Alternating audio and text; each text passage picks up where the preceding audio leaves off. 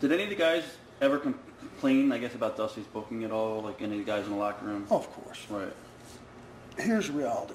Um, if you're not wrestling the guy you want to wrestle, if you're not in the town, in those days sometimes we'd run two towns a night, if you're not in the town that you want to be, hypothetically, we lived here in Charlotte, they ran Albany, Georgia, they ran Charlotte, same night.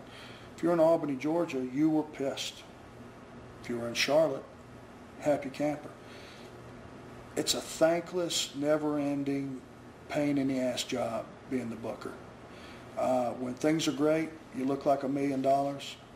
When things are down, you're an idiot. So Right. What were the uh, initial bunkhouse stampede matches like? fun, but, but brutal. Um, it's real easy when you got 20 or 25 guys in a ring. You're always going to have seven or eight not paying attention. A lot of broke ankles came out of that, some blown out knees. Uh, obviously, a lot of stitches. Uh, but I think it was, uh, you know, exciting for the fans. I mean, 25 guys in there, come as you are, do what you want.